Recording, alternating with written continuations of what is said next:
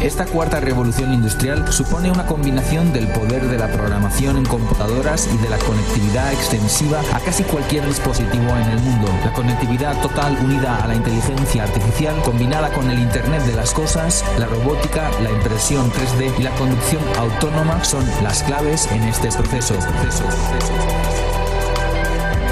La inteligencia artificial se prevé que va a ser uno de los grandes ejes de esta revolución, así como el desarrollo de nuevos materiales más duros y ligeros como el grafeno, la espuma de titanio o el carbino, que permitan la fabricación de objetos hasta ahora impensables.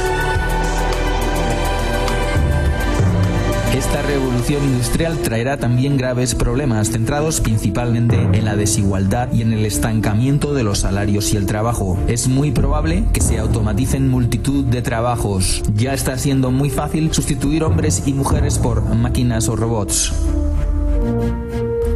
La cuarta revolución industrial tendrá un impacto mucho mayor en países emergentes como India, América Latina y Asia.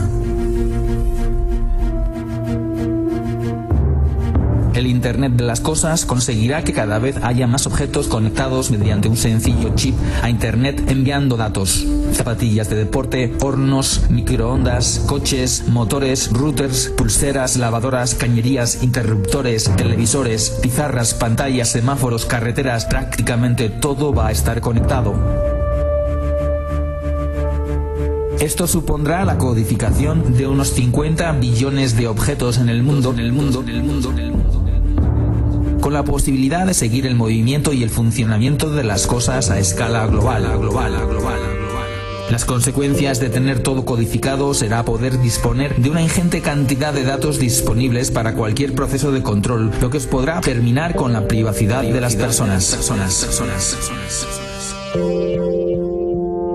La impresión 3D jugará un papel muy importante en el nuevo concepto de manufactura. La fabricación se basará en información que en último término será software abierto de uso libre. En el futuro cualquiera podrá fabricar cualquier cosa. Se fabricarán coches, órganos, instrumentos musicales, joyas,